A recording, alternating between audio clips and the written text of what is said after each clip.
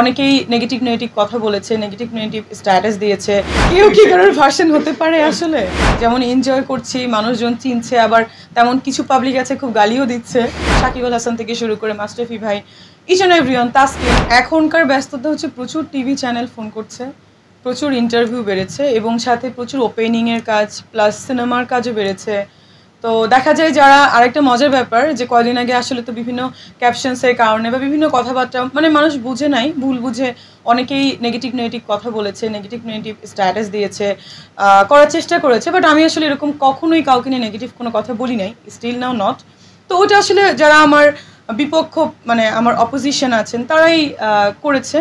তো এখন দেখা যাচ্ছে তারাই আবার আমার সঙ্গে খুব যখন বুঝতে পেরেছে যে আমি রাইট ছিলাম বা আমি কোনো খারাপ কিছু বলিনি তারাই আমাকে আবার ডাকছে বা তাদের সাথে ভালো কাজ করার সুযোগ হচ্ছে এটাই। মিষ্টি জান্নাতের ক্ষেত্রেও ঠিক সেম অনেকেই বলছে যে জায়দ খানের হয়তো লেডি ভার্সন হচ্ছে মিষ্টি জান্নাত। কেউ কি কারোর ভার্সন হতে পারে আসলে? সিনেমার অনেকগুলো কাজ বেড়েছে অফার আসছে ডিরেক্টর ফোন করছে এই তো আহ, তাহলে আহ, আসিফ ভাই নট অনলি সিনেমার অফার আমার আগে যে কাজগুলো করা হতো না মডেলিংগুলা বা বিভিন্ন কোম্পানির যে দেশের বাইরে শো সংখ্যা কি বেড়েছে? অবশ্যই আমার ঈদের পরে শো আছে তিনটা। এই যে আসিফ ভাই যে কথা লন্ডনে একটা আছে ইউ সরি লন্ডনের লন্ডন সিটিতে ইউকের ইউএসএ তে একটা আছে ক্যানাডাতে আমি ভিসা অলরেডি করতে দিয়েছি যদি হয় দেন সেপ্টেম্বরে আমি ওখানে জয়েন করব I will join in Canada and third হচ্ছে যে দুবাইতে একটা শো আছে বাট আমার প্রবলেম হচ্ছে যে আমি যেতে পারব কি না মানে একেবারে ইমিডিয়েট ঈদের পর পর দেখেন সব কিছুরই কিন্তু নেগেটিভ অ্যান্ড পজিটিভ আছে। যেমন এনজয় করছি, মানুষজন চিনছে, আবার তেমন কিছু পাবলিক আছে, খুব গালিও দিচ্ছে। তো লাইক দিস তখন আসলে ভালো লাগছে না। ফার্স্টের দিকে আসলে খুবই খারাপ লাগতো বাট এখন মনে হচ্ছে যে না, আসলে সমালোচনা করাটা বেটার তাহলে আমি নিজেকে আরও শুটাতে পারব।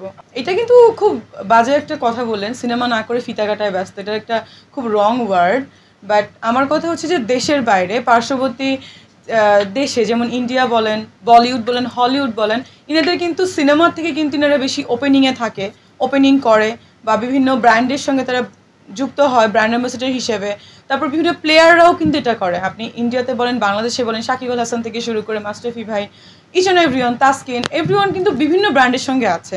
কারণ সিনেমা করে তো দেখেন একটা সিনেমা শেষ হলো আর্টিস্টরা কীভাবে মানে তাদের তো একটা মানে কোম্পানির সঙ্গে যুক্ত হলে তো বিভিন্ন মানে মান্থলি একটা রেমুনেশন পাচ্ছে বা বিভিন্ন তাদের টাকারও তো প্রয়োজন হয়।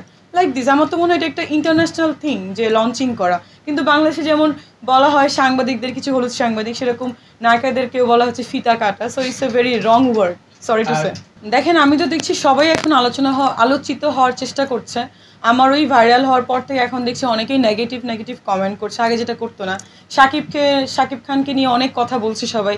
তারপরেও দেখা যাচ্ছে যে ভিউ বাড়ছে না। অ্যাকচুয়ালি দেখেন, আপনি আমি চাইলেই কিন্তু ভাইরাল হতে পারব না বা আমি চাইলেই কিন্তু আমার কথা সবাই শুনবে না। এটা আসলে অনেকটা যেমন সাকিব খানও যেমন পঁচিশ বছর রাজত্ব করে তার কথা শুনছে, তাকে দেখছে। এরকম ভাইরাল হওয়াটাও কিন্তু আপনি চাইলে হয় না। সবাই কিন্তু জায়েদ খানের মতো ভাইরাল হতে পারছে না।